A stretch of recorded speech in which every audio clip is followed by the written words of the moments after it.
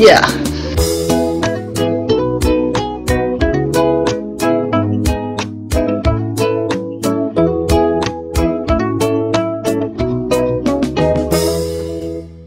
Hai what's up everybody, welcome back with me, can Oke bagaimana kabar kalian semua di sana? Apakah baik-baik saja? Semoga kalian berikan kesehatan, ketenangan, kebahagiaan dan juga kedamaian hidup kalian, oke? Okay?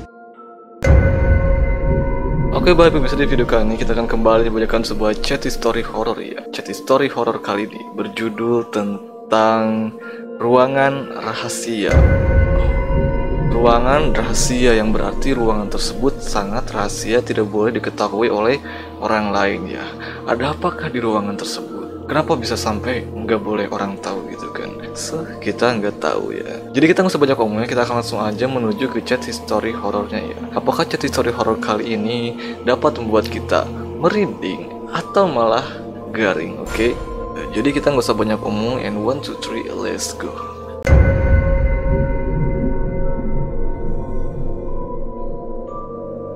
Bon, oke, okay, ini chat dari si Bon.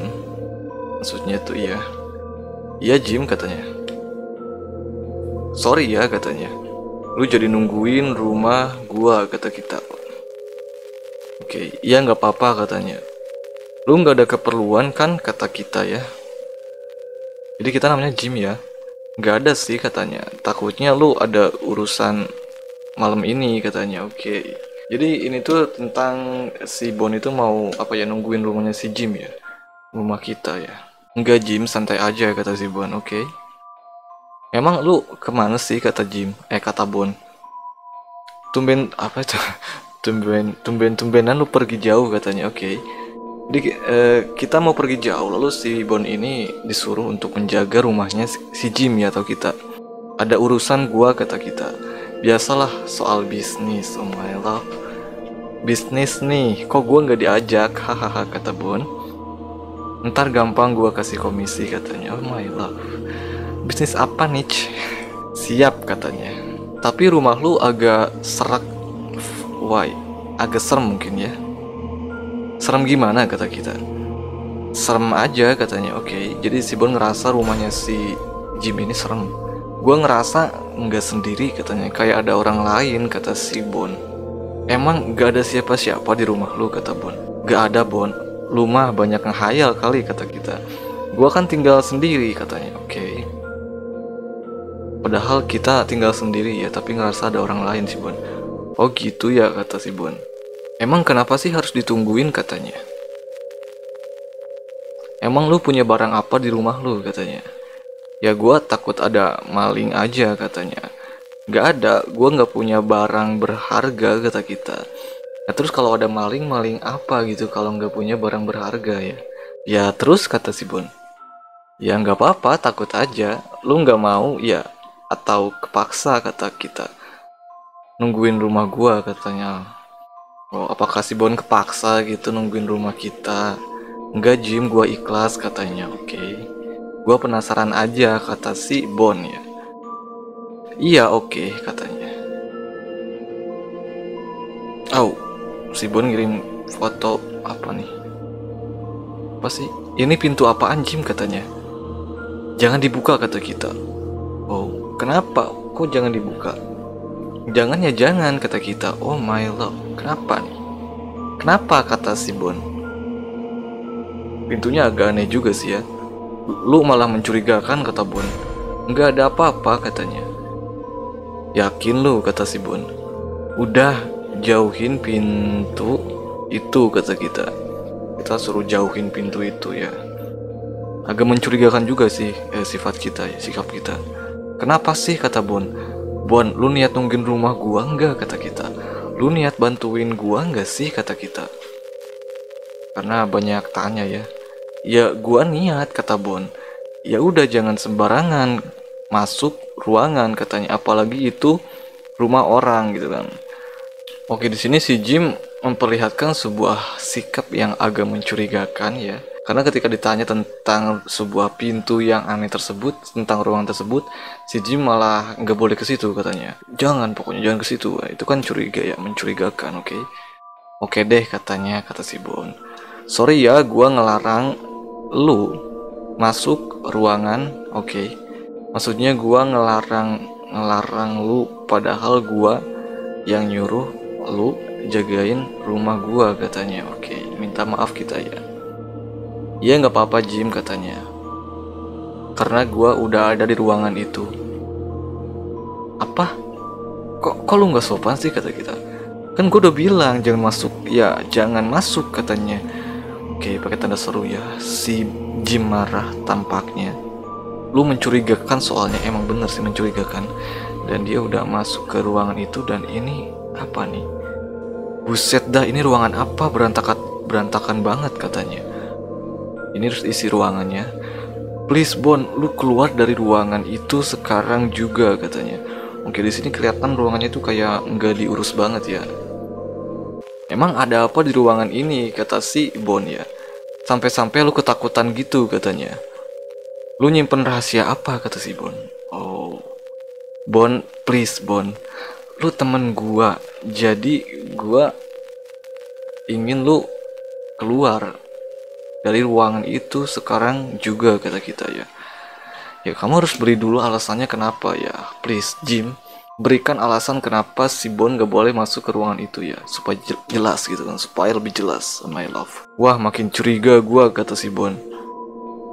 Iya sih, jangan-jangan lu nyimpen mayat ya. Jaga omongan lu ya kata kita.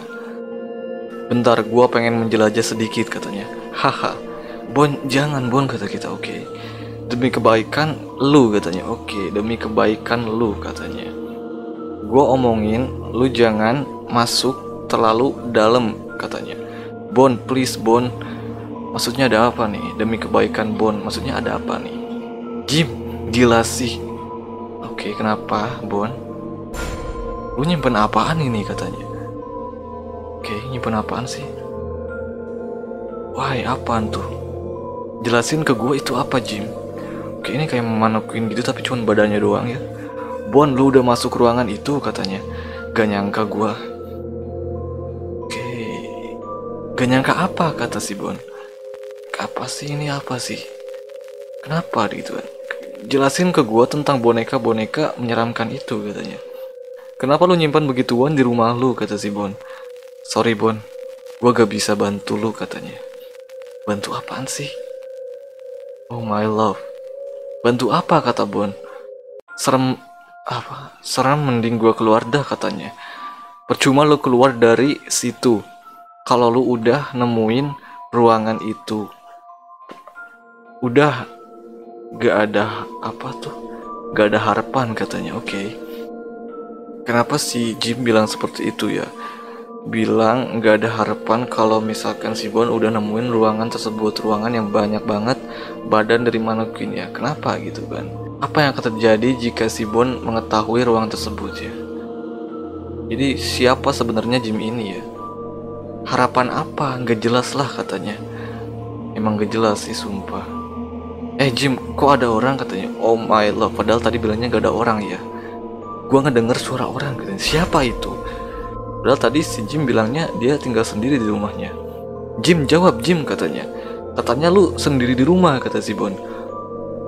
Gua kan udah bilang jangan masuk ke pintu itu katanya. Kenapa lu ngeyel sih kata kita? Soalnya kamu mencurigakan Jim. Kenapa si Jim kata si Bon ya? Gue jadi takut katanya. Jim itu siapa? Katanya Oh my love Siapa sih?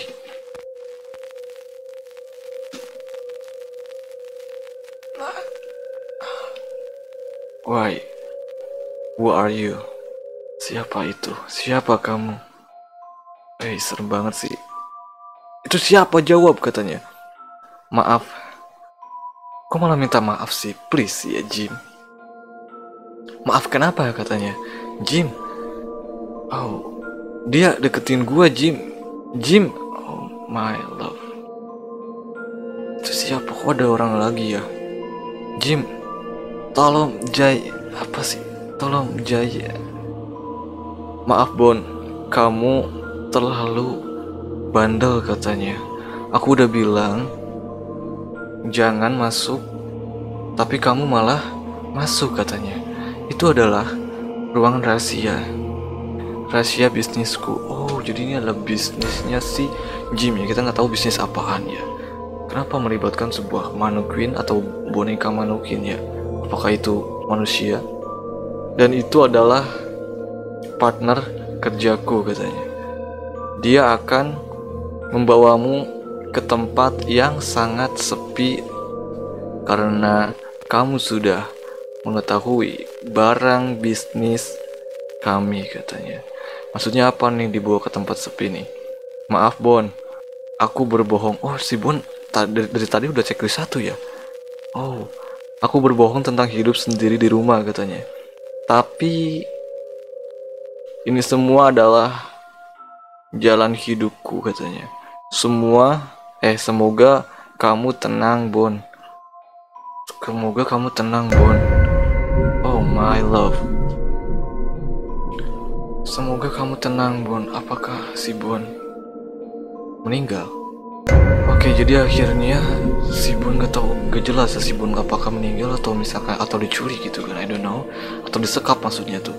Dan si Jim ini ternyata adalah orang yang sangat mencurigakan dan sangat aneh ya dia mempunyai sebuah bisnis yang sangat aneh ya contohnya tadi ya. Dia punya ruangan rahasia yang di mana di ruangan itu adalah menyimpan sebuah barang bisnisnya gitu kan yang barangnya tersebut adalah sebuah mannequin ya badan mannequin segini gitu kan. Oh my love apa bisnis apa yang dilakukan oleh si Jim ya?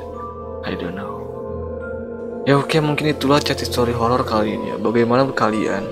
Apakah chat story horror kali ini membuat kalian merinding atau malah garing komen di bawah oke? Okay?